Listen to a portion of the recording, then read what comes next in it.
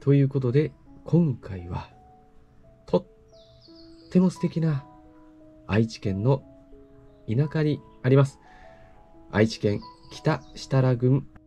東栄町にございます佐野神社さんを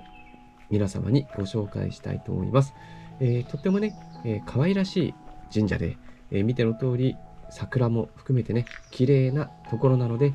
必ず最後までご参拝していただければと思います。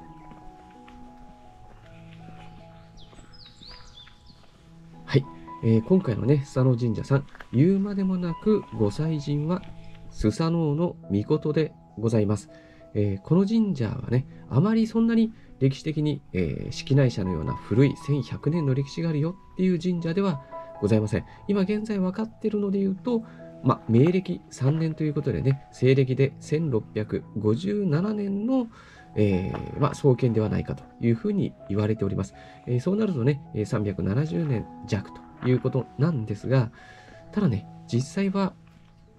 どうでしょうか。このスサロー神社さんを勘定したのはね、そのぐらいかもしれませんが、それ以前からね、おそらくこの愛知県の東部というのはね、山の神、大山積の神ですね、今で言えばね、え山の神を祀っているっていう神社さんや祠が結構ね、あるので、もしかしたら、神義信仰、まあ、自然崇拝が始まり、山に対する信仰がね、えー、その後、大山積の神をお祭る。そんなね、祠はね、他にもあったのかなというような気が個人的にはしております。えー、今、正面に見えているのが、佐野神社さんで、右側にね、とっても立派なご神木ございます。えー、あや杉というふうにね、えー、名前がね、ついておりますが、この杉はね、樹齢が400年を超えると言われている杉で、えー、それこそね、神社より前になってしまうんですね、それだと。ということを考えると、もともとやはりね、えー、何か祀られていた可能性があるのかなというような気もしております。えー、この後ね、あの神社さんの左手の方にちょっと回ってみます。えー、そこにはね、え小さな祠、石祠とかございますので、そちらを見ていただいて、え再度ね、こちら戻ってまいりますので、そこで皆様にはご参拝いただければと思います。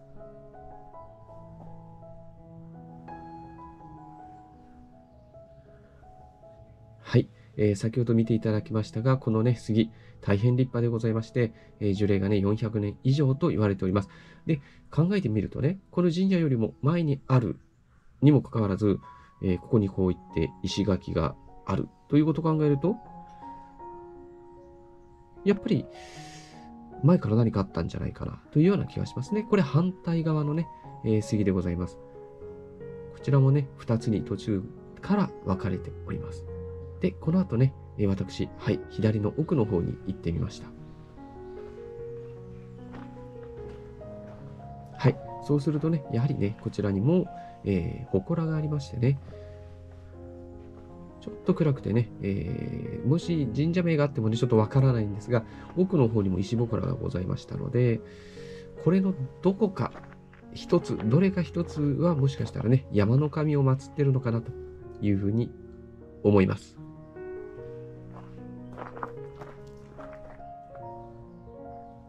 でね、佐野神社、愛知スペース佐野神社で検索するとね、えー、特にあの、名古屋市周辺とかね、あと岡崎周辺かな？あの辺りもね、佐野神社が結構あるんですよ。なので、なんでこんなにあるかなと思ってね、もしかしたら、昔、出雲系の人々がこちらにもね、移住してきたのかななんてね、えー、妄想が結構広がっております。綺麗ですね。この東栄町というとね、あの、瀬よりつ姫をお祭りしている月神社さんがあるところでございます。えー、月神社さん、私今まで、えー、動画は1回しかまだこの時点で公開してないと思いますが、えー、私はね、実は3回ぐらいはね、参拝に上がっております。え近々またね、2回目の動画も公開したいと思いますので、ぜひそれも楽しみにしてください。で、この狛犬さんね、結構ね、お顔が大きい。はい、お顔の大きい狛犬さんでございます。はい、大迫力の杉見ていただきまして、えー、ご参拝していただければと思います。えー、今回ね、私の動画初めてご覧になっている方、私の動画では下にね、えー、Google マップの地図 URL 貼ってます。またあとね、えー、おすすめ動画も載せておりますので、この動画、もう一本他にもね、見ていただいて、ぜひチャンネル登録していただければと思います。えー、もしよろしければね、ご参拝ください。えー、40秒くらいあるんでね、えー、特に祈願することないよって方は40秒スキップしていただいて、最後の美しい街並みを見ていただければと思います。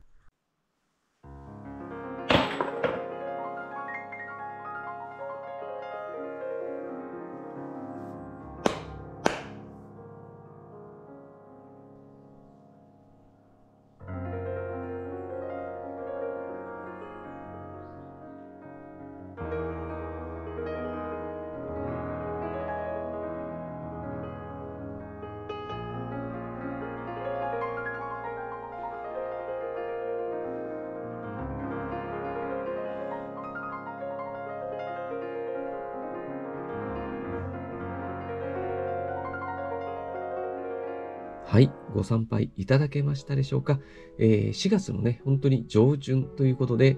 えー、残念ながらね、桜はね、遅かったというより早かったって感じですかね。えー、まだ咲いておりませんが、これは梅ですか？一緒に咲くんですかね？っていう感じなんですが、とってもね、えー、綺麗なところ参拝することができました。えー、そしてなんといってもね、この杉も大変立派でございました。はい。ということで今回はね、えー、東栄町にございます、佐野神社さんを皆様にご紹介いたしました。えー、先ほど申しましたが、セウリツ姫をお祭りしている月神社さんもね、ここから車で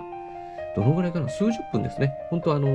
1時間かかるとかそんなことございません。同じ都営町の中にあるので、ぜひね、月神社さんと合わせて、こちらの佐野神社さんもご参拝いただければと思います。ということで、先ほども申しましたが、初めて来た皆様、ぜひね、下のおすすめ動画もあと1本見ていただいて、チャンネル登録していただければと思います。ということで、私はまた明日も全国のどこかの素晴らしい神社を皆様にご紹介いたしますので、また明日の動画でお会いしたいと思います。それではチャンネル登録、高評価お願いいたします。また明日の動画でお会いいたしましょう。失礼いたします。